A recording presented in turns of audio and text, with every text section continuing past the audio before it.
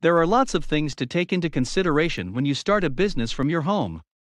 Insurance might be one of the last things on your mind, but it's something important that you should be considering.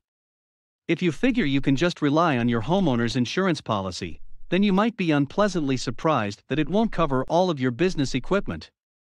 And if you are going to be having clients or business partners in your home, then you might need liability insurance. You also might want to have lost income insurance, so you're protected if you are unable to work for whatever reason. If you run a business from your home, then you basically have three choices for insuring your home business.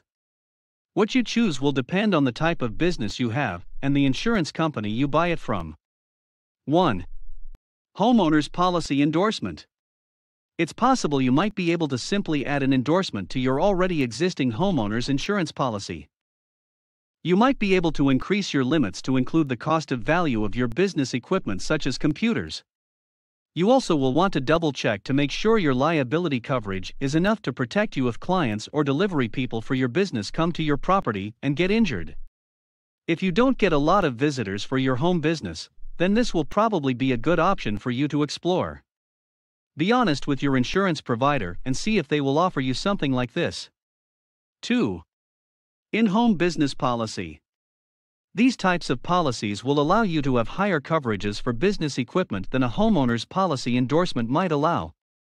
The bonus with these is it's possible that they could also reimburse you for the loss of important papers, accounts receivable, and perhaps even any off site business property.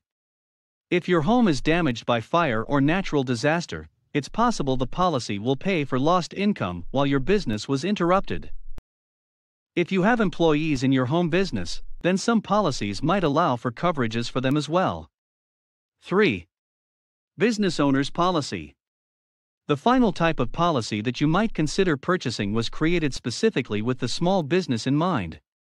The policy will cover both business equipment and property, loss of income, and provides you with liability insurance. This is a great option if your business operates in more than one place. If you have employees, you'll need to get separate coverages for workers' compensation and health or disability insurance.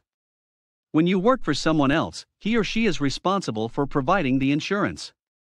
When you work for yourself, though, you get control over a lot of different things, and this will include protecting yourself and your equipment so you can successfully run your business and continue providing for your family. Make sure you shop around to find the right policy for your particular circumstances. And don't forget, insurance is a business expense if it's purchased for your business.